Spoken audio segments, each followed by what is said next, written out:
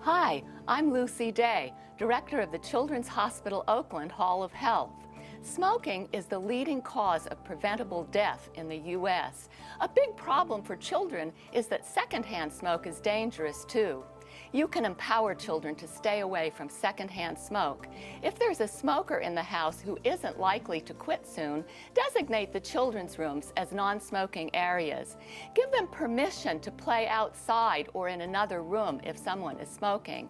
And remember that it's illegal to smoke with a child or teenager in the car.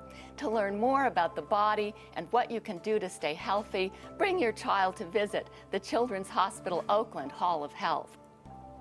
For more information on your child's health, go to kron4.com